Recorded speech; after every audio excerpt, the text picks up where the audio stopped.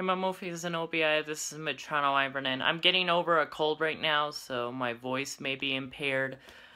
But this is just a quick update video, and um, this will become unlisted soon, but this is just to tell you guys that the webcam actually did not commit suicide. The USB port actually malfunctioned like it did when I was configuring the OBS settings, and what I did wrong was um, uninstalling it. I did not uninstall the and reinstall the USB port properly, and that is why I thought it had committed suicide.